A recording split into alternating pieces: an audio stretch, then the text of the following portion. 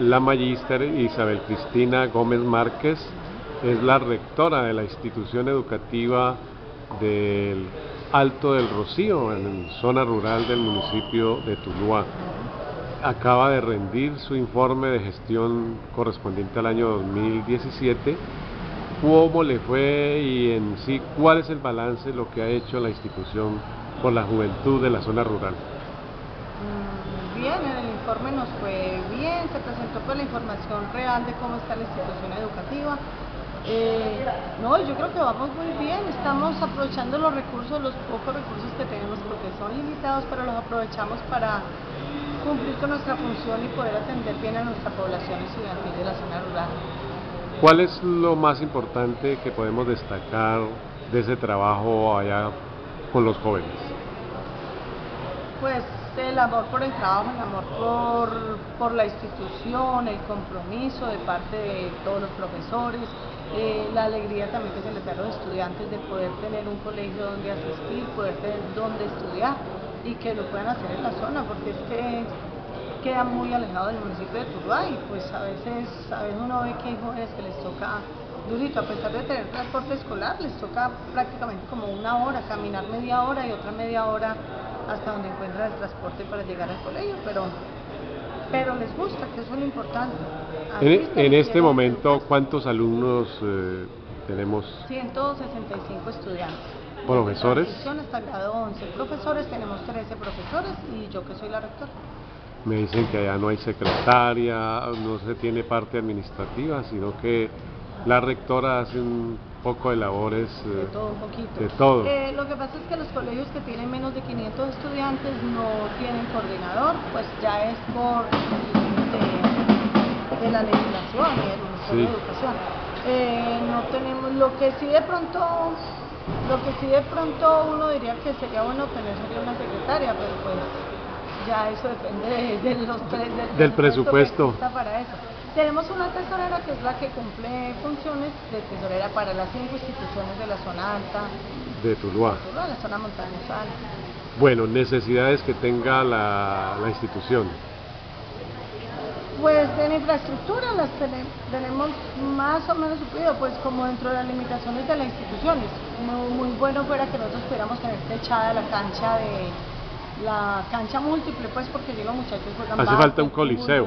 Sí, muy bueno que pudiera tener un techo, nos quedaría como coliseo, como sala, pues como salón múltiple, pero por lo que llueve también mucho en la zona, entonces Ese sería uno de los proyectos. de pronto poder adecuar una sala de profesores porque no contamos con sala de profesores. Son como las necesidades apremiantes, pero pues ahí, ahí vamos, ahí vamos solicitando a ver en qué momento se nos cumplen esos deseos.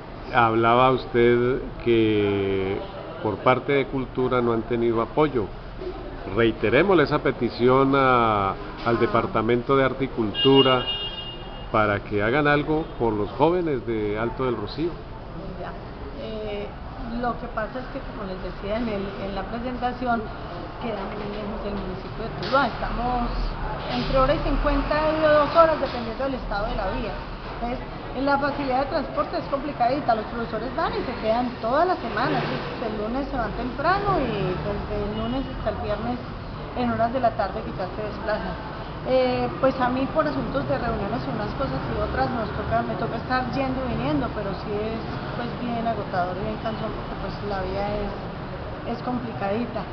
Entonces, en ese sentido es que entiendo pues como la dificultad del municipio. Ellos nos han dicho que, que sí, pues que pueden venir los profesores de pronto a... Venir, por ejemplo, a, clases. Allá. Pero pues también es complicado porque ellos los sábados vienen a hacer como sus vueltas o a estudiar los que están estudiando. Entonces, digamos que no hay, no hay tiempo. Si, si, si, si hubiera la posibilidad o si existiera la posibilidad de que fuera algún profesor que estuviera un día, aunque fuera cada 15 o cada 20 días para dar algunas cosas artísticas, sería excelente. Mostraba una imagen en, en el video en donde la carretera hay un sitio en muy mal estado, que es hasta peligroso pasar por ahí. Es que esa es una falla que hay llegando al colegio, por una de las... ¿Cómo llama el sitio exactamente? Cuando llegamos de, por el lado de, nosotros vamos por San Rafael, Ceilán, y de allí subimos a un corregimiento que se llama Chorreras y volvemos a, eso es Bugala Grande y volvemos a, retomar Tuluá, llegamos al Torocío. Antes de llegar al colegio, eh, eso es la vereda de la Norcasia, dentro del corregimiento de Tochecito en que estamos ubicados. Ahí, ese tramo es una falla geológica, entonces cae el agua y cuando llueve cae con tanta fuerza que se va llevando la vida. la Secretaría de Hábitat e Infraestructura nos ha hecho ya arreglos allí, ya estuvieron con, con retroexcavadoras, con tractores con aplanadores, ya nos arreglaron mucho la vía, pero como ya está empezando a llover y tan fuerte, digamos llueve seguido 12 horas, 15 horas y después como que nunca va a parar de llover, esa vía otra vez está horrible, súper peligrosa porque sí, no hay estabilidad para nada. Ya los transportadores están teniendo que bajar a los estudiantes para poder pasar, pues para que no, haya peligro que eso. La rectora de la institución educativa Alto del Rocío en el municipio de Tuluá a través de CERTV, Lucas.